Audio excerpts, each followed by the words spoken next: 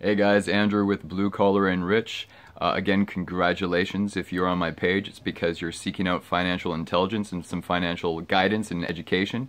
Big props and respect for you to, to find this page here. So, uh, I want to talk about money. And I know that's not a big surprise, Andrew. Your page is called Blue Collar and Rich. So, funny enough, I want to talk about money. What is money? So, we've got three kinds of money there's fiat currency which doesn't have any intrinsic value. That's the money we use for our day-to-day operations and transactions, right? So we uh, we have that in a plastic physical form or a digital form. There's far more digital currency out there than there is in the physical form. I mean, think of any time you buy something with a credit card. Well, you just created digital money out of thin air, okay?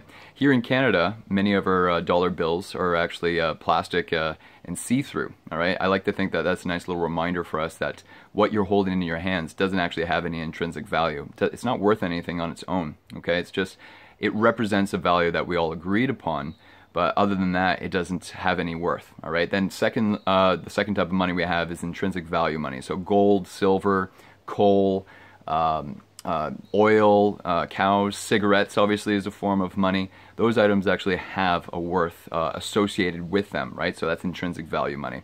And then third and final, we have the receipt money. Okay, so an example of receipt money would be your, your coat check ticket or your, your valet stub, because that's a contract, that's a promise. That is a, uh, a piece of paper that represents something of value. Okay, so that would be the third type of money. And so you're right now you're thinking, Andrew, that's all fine and dandy. I could probably dig up all this stuff on, online myself. Um, how does this benefit me? Well, my my biggest shock, my biggest surprise when I talk to people about their finances is that they have no idea what's coming in the door and what's going out the door.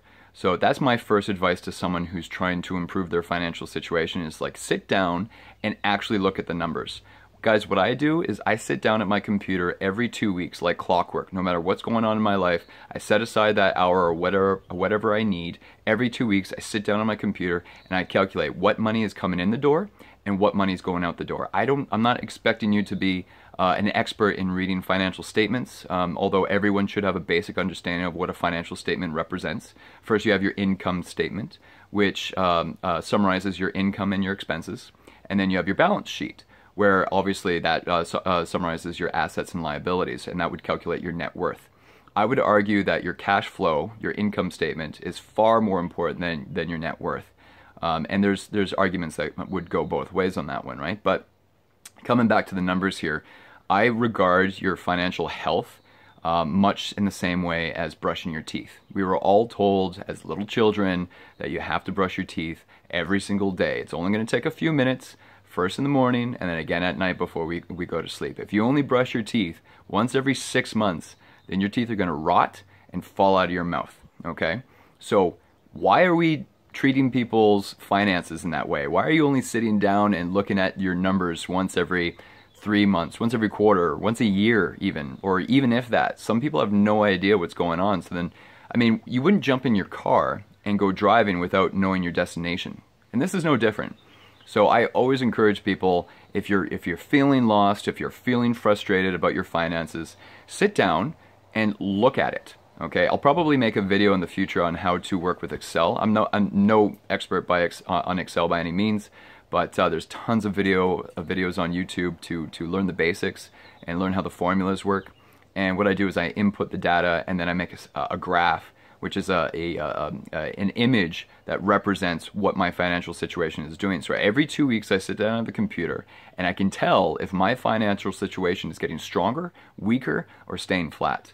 Okay, and that, that information is so valuable because if you don't have that information, how do you know what kinds of decisions to make that following week?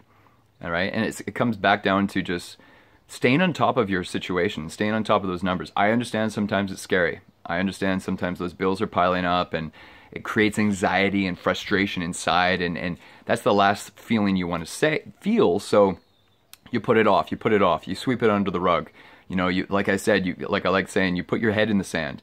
And then finally one day you're forced to confront that situation and it's 10 times worse than it could have been if, if you just sat down on a regular basis to review your numbers okay so i hope this video helped you guys out hit the like button subscribe to my channel if you want more content like this um, and uh, you know leave a comment if you want me to uh, review some specific information that's uh, maybe uh, perhaps tailored more towards you um, i'm going to enjoy this beautiful Kelowna weather and uh, get back to my day. But you guys enjoy yourselves. Take care and uh, all the best. Talk to you soon. Bye.